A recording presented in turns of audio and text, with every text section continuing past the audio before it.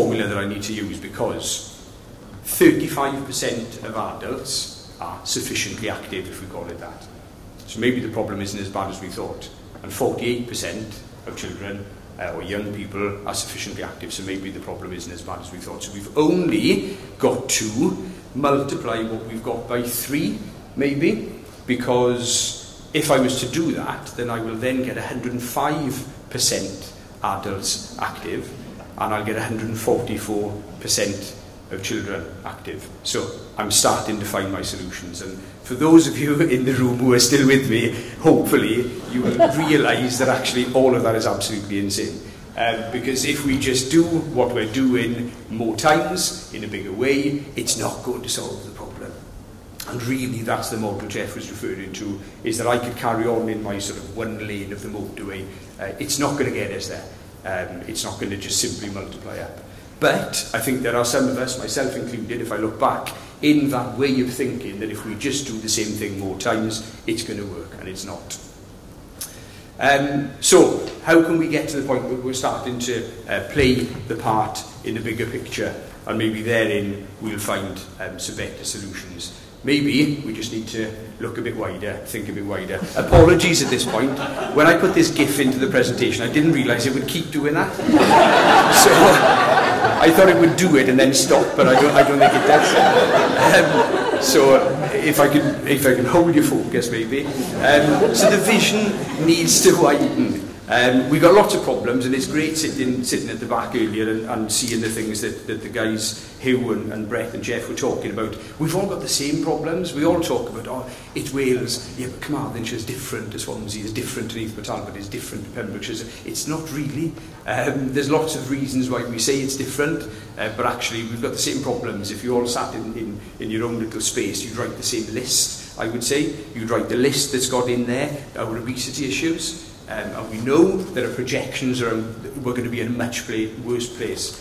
in a couple of years' time. Uh, we know we've got an ageing population. That may vary a little bit, local authority by local authority or county by county. However, we've generally got an ageing population. That's going to throw up different issues and opportunities for us. Mental health is becoming a, a, a bigger issue um, by hour, by day. Um, you can take extreme cases that end in, in suicide, but bring it all the way back to all of the other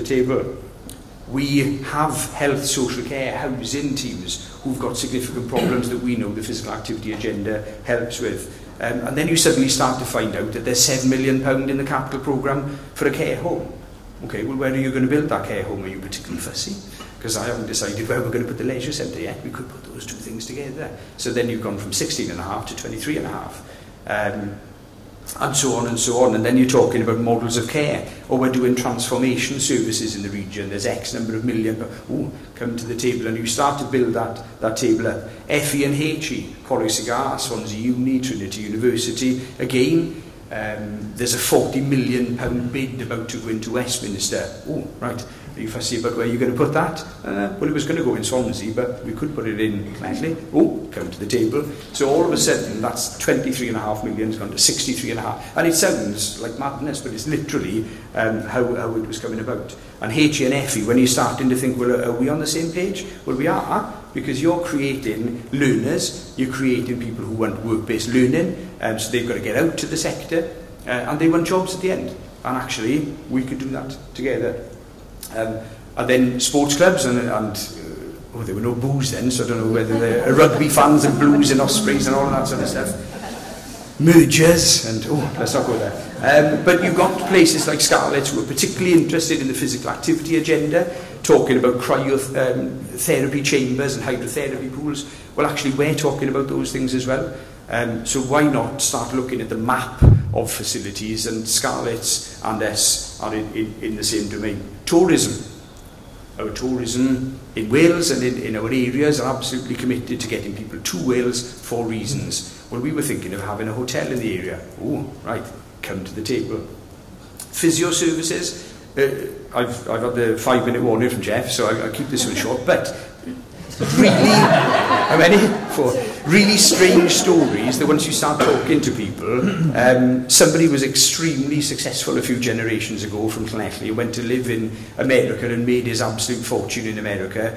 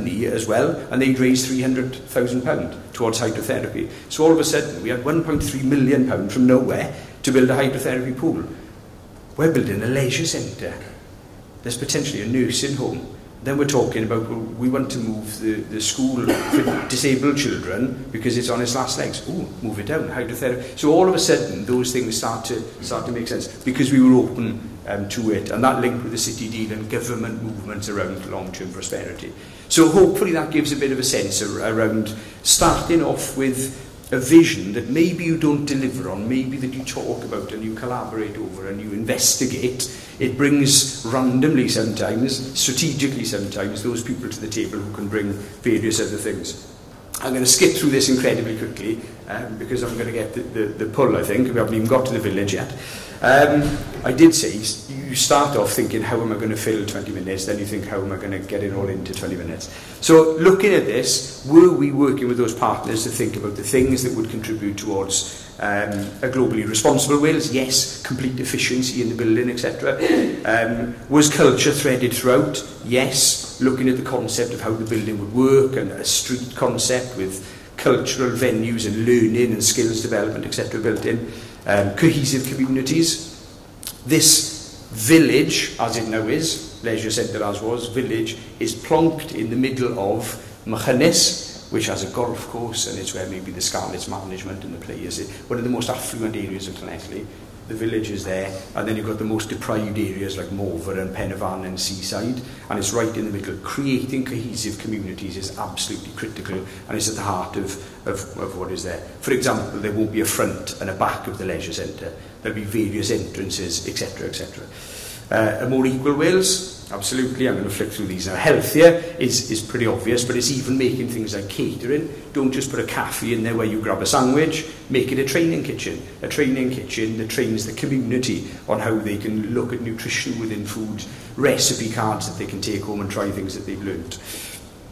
Resilient Wales um, and a prosperous Wales. There is estimated to be almost 1,900 jobs at this village alone, and that's going to bring over 450 um, million into the local economy over the next 15 years. So a huge difference being made to a highly deprived um, area. I'll flip through these quickly.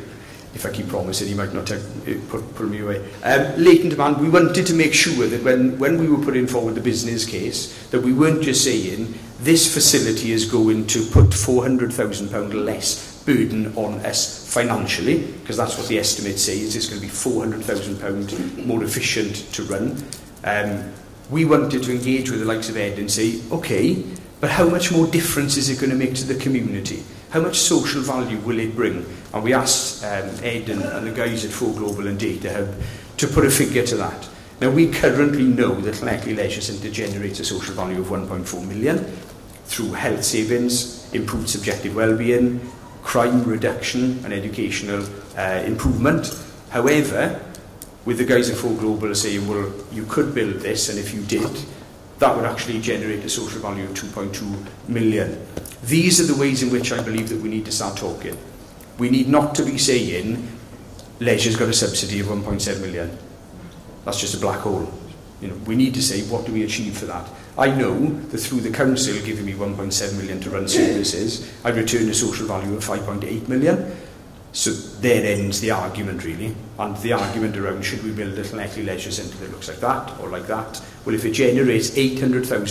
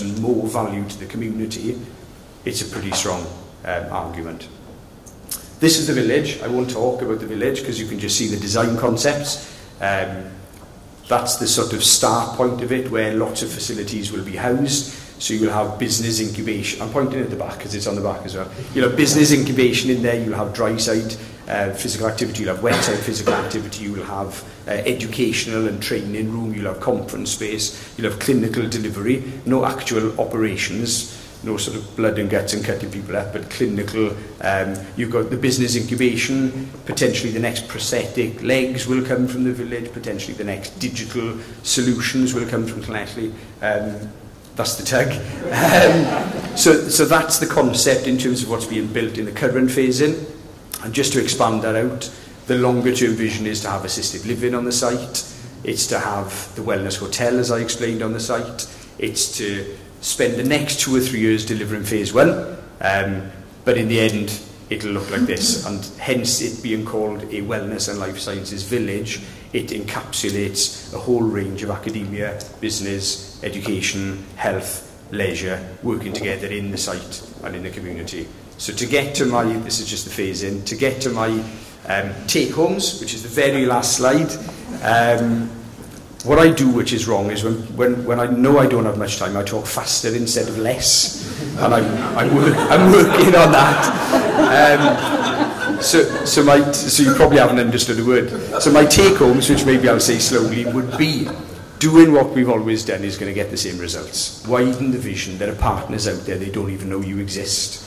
and you don't know they exist maybe, but we can, we can co-create solutions.